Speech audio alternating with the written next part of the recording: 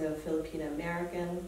I am um, first generation born and raised here in the US. My parents are from the Philippines and they migrated to the United States in uh, the 70s.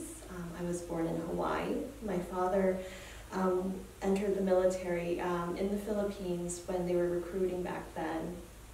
And that's how he brought my mother with him to the US. Uh, and that's um, also how myself, my brother, my younger sister were born and raised here. So that's how they started the family.